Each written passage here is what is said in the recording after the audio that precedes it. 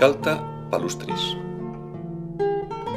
Esta planta llamada hierba centella o verruguera o caléndula de agua es bastante irritante, por lo que ha sido usada para quemar las verrugas. Tiene propiedades medicinales como antiespasmódica, diaforética, diurética, expectorante y rubefaciente. La raíz fue usada para los reumatismos y para provocar el vómito, y también como laxante.